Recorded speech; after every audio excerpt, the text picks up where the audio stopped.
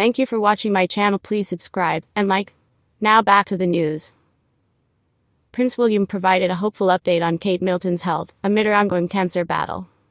During his visit to Northern England Tuesday, a royal supporter asked the Prince of Wales, 41, how his wife and their three children, Prince George, 10, Princess Charlotte, 8, and Prince Louis, 6, are doing in light of the news.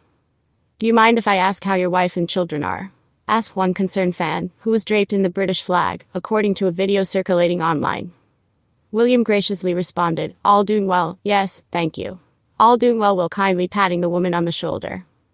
The well-wisher then asked for further clarification on Middleton, 42, adding, I mean, obviously Catherine. To which William reinstated, yeah, we're all doing well. The future king engaged in a spontaneous walkabout during a visit to James Place, Newcastle, a male suicide prevention center in the city of Newcastle upon Tyne.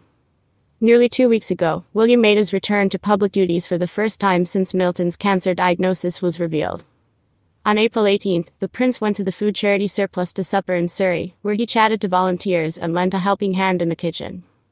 Royal expert Richard Fitzwilliams told The Sun shortly thereafter that William's appearance was an indication that the royals were returning to some sense of normalcy. Royals realize that every single thing they do sends a message in one way or another, the royal commentator said on April 20th, adding, If Catherine had been there, it would have been fantastic, but no one is expecting that. Middleton shocked fans worldwide on March 22nd when she revealed she had cancer, which she discovered after undergoing major abdominal surgery in January.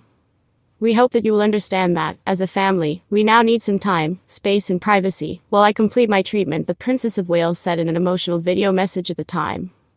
My work has always brought me a deep sense of joy, and I look forward to being back when I am able, but for now I must focus on making a full recovery.